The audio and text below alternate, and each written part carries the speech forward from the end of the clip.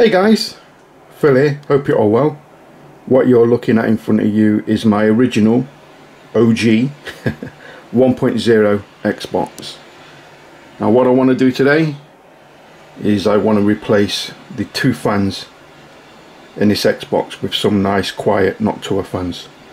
So if you stick around, I'll crack on with that.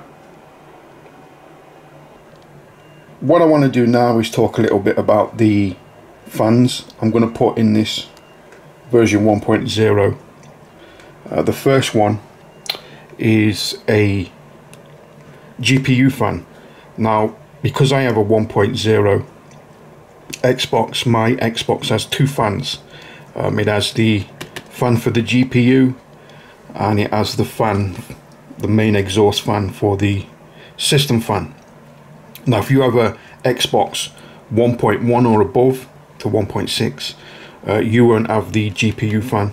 Um, you'll just have one fan and that's the uh, exhaust main system fan. But mine has two and the one I'm going to use for the GPU is this Noctua one just here. Now both fans are 12 volt version fans. You need the 12 volt version not the 5 volt version. And both of them need to be the flex version uh, not the PWM version um, but like I said, if you've got a 1.1 or above, you only need one of them. And that's the main system fan. Now for the GPU, I'm going to be using this one, the NFA 4 times 10. And for the system fan, main system fan, I'm going to be using the NF A6 times 25. And also what you'll need is you'll need to print out some brackets to help you fit the fan. Um, but you can, if you don't have a 3D printer, you can buy these off eBay. Uh, people sell these on eBay. I have a 3D printer, so I printed these myself.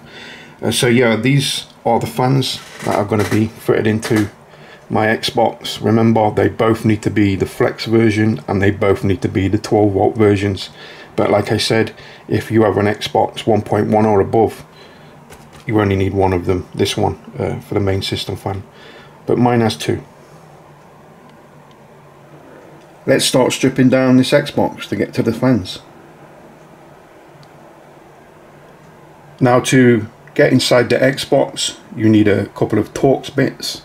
Uh, the first one you're going to need is a T10 and the second one you're going to need is a T20.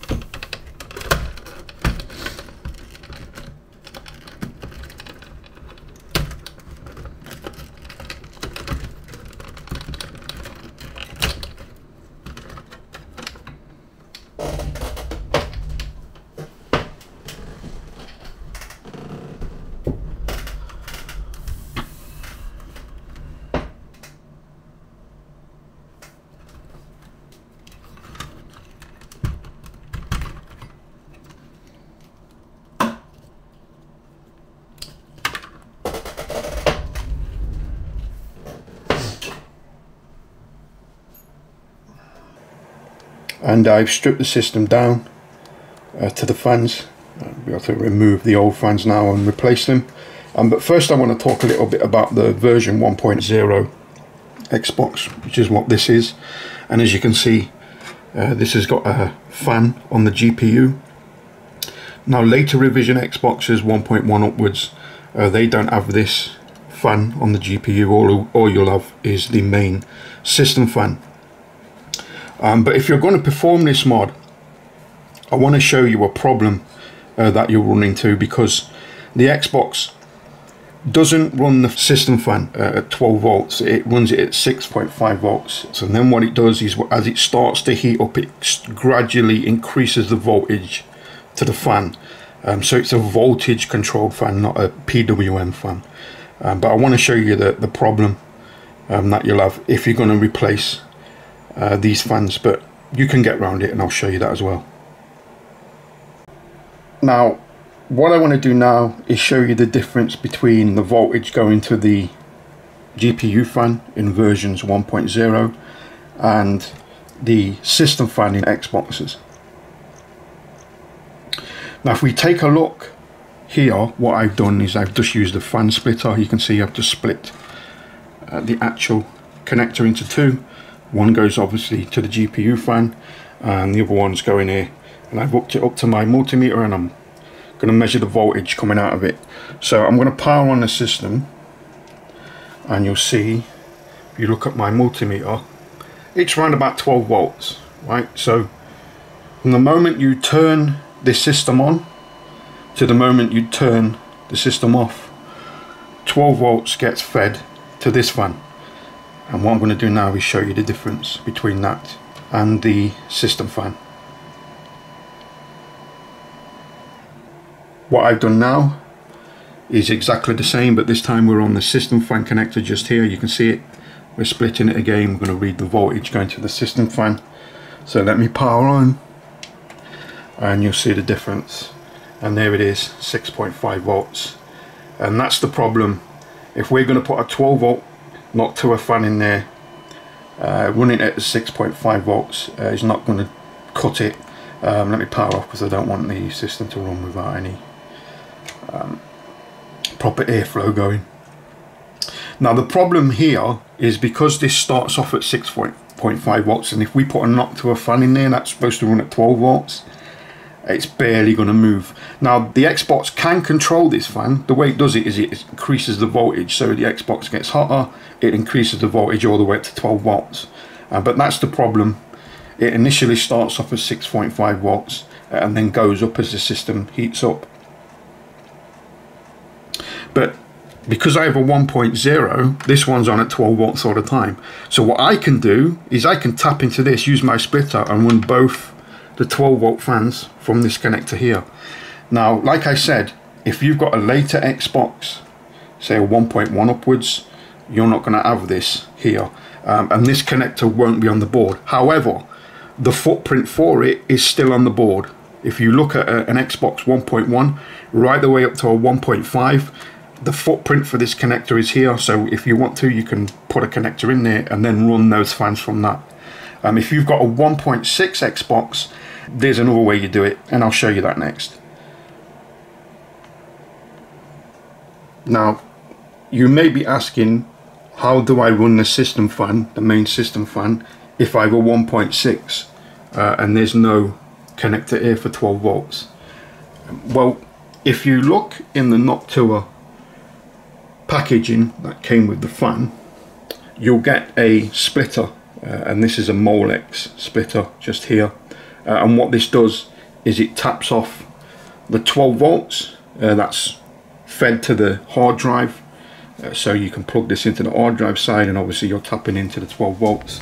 And as you can see it's just there. Look you can see it's there. So what I'll do is I'll power on the Xbox and you'll see that 12 volt reading um, on my multimeter. So yeah, you can still tap into the 12 volts if you've got a 1.6 Xbox. What I've got to do now is obviously remove the old fans. Now to remove this one, this one's very easy. There's four screws, there's one here, one here, one here, one here. Remove those, take the fan off, remove the clip, you're done. Uh, this one's uh, a little bit more tricky there's no screws holding this in it basically clips in you push down and it clips in and if you take a look there's a clip just here on this side and there's a clip just here on this side. Uh, now you need to be very careful on this side because obviously here's the power supply. And if you put anything metal there you are risking it a little bit. So yeah just be careful. But yeah they're not too difficult to get out. So I'll get these two fans out uh, and then come back. Now that's both the GPU fan and the system fan removed. What I want to do now uh, is just a bit of maintenance. I'm going to remove these two heat sinks uh, the reason for that is I want to put some nice fresh uh, thermal compound under there because the stuff Microsoft put on there from the factory is just crap. so yeah, I'm just going to whip off these heat sinks uh, and then put some nice new thermal compound on there. That's the GPU and CPU heat sinks removed. You can see them just here. You can see the old thermal compound on them. They're pretty crap. What I'm going to do now is just spend five minutes with a cotton bud. I'm going to clean off all the old thermal compound uh, and then same with the heat sinks I'll clean it off there. And we'll put some nice fresh new MX4 on there and then put the heat sinks back on. That's the old thermal compound removed from the GPU and the CPU also removed it from the heat sinks what I'm going to do now is put some new thermal compound on there MX4 and yeah, that should be better than the stuff Microsoft put on. Got the MX4 thermal compound on there. Time to put the heat sinks back on. And as you can see, that's the heat sinks back on there with new thermal compound on there, which should be better than the stuff Microsoft put on there, which, be honest, is crap. So yeah, what I've got to do now is install the fans. I've installed both the mounting brackets for the GPU fan and the system fan. Let's get them in the Xbox. And as you can see, our fans are in. What I'm going to do now is power on the Xbox. Do we get fan spin? Uh, both of them are spinning. And the system's booting. So yeah, there you go guys, successful Noctua fan upgrade. I'll power off the Xbox because it's going to time out because obviously there's no hard drive or CD-ROM connected. So yeah, what I'm going to do now is I'm just going to spend five minutes tidying up these wires and I'll get this all back together. But yeah, that's successful Noctua fan upgrade. It should be silent now and run cooler because these things at 12 volts all the time. Winner, winner. and there we go. One little cable tie and it's all nice and neat. 12 volts from this connector just here. You've got a splitter and splits it to both fans. So yeah, there you go. Let's get this Xbox back together again. Now before I button up this Xbox I just want to show you where you can tap into the 12 volts um, obviously if you've got a 1.6 Xbox here's what you use you just use this and then you obviously intercept the 12 volts that's going to the hard drive and then you've got your tail there for the system fan. And as you can see we're all back together. So let's power on the Xbox and it should boot Evolution X dashboard and I can already tell uh, it's quieter than it was before. And there we go Evolution X dashboard so yeah there you go guys Noctua fun upgrade so yeah I hope they liked the video if you did please give it a big thumbs up like comment subscribe all the usual stuff and as always, I'll catch you on the next one. Winner, winner. catch you next time, guys.